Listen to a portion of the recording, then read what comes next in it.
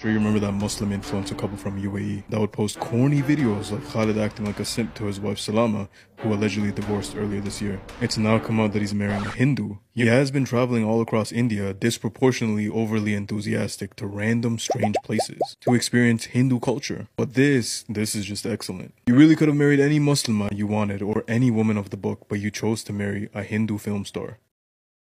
Welcome back to Islamgram Official where we discuss important topics through the lens of Islam.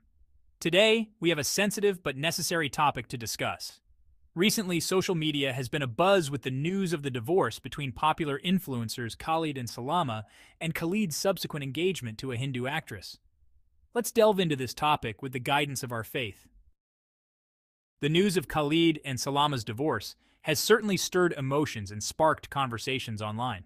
As Muslims, it's crucial for us to approach such situations with wisdom, compassion, and a firm understanding of our faith. Khalid and Salama have been well-known figures in the social media world, sharing their lives and inspiring many with their content. Their separation has come as a shock to their fans. But what has raised even more eyebrows is Khalid's engagement to a Hindu Tamil actress shortly after the divorce.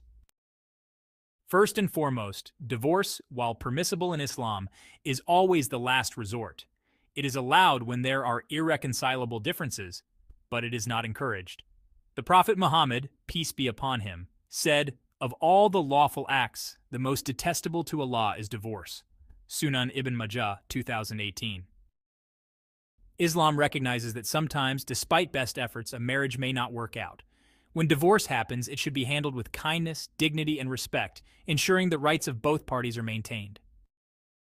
Now let's address the engagement of Khalid to a Hindu actress.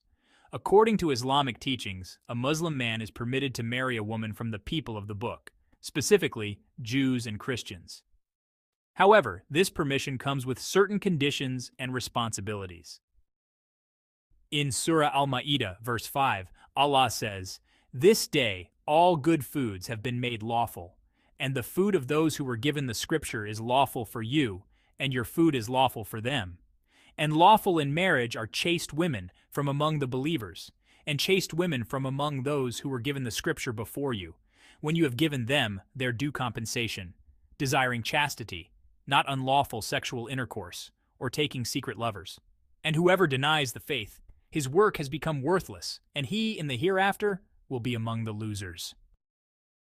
Marriage is more than just a social contract. It is a means to support each other in faith and good deeds. When a Muslim marries someone from outside the faith, particularly outside the people of the book, it can lead to significant challenges in maintaining an Islamic household and raising children with a strong Islamic identity.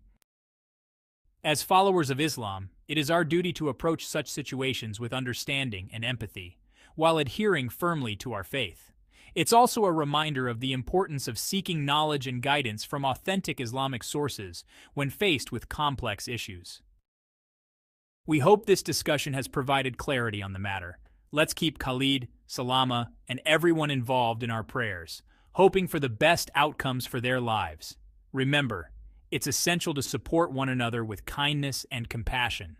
If you have any thoughts or questions, please leave them in the comments below. Don't forget to like, share, and subscribe to stay updated with more insightful content. Until next time.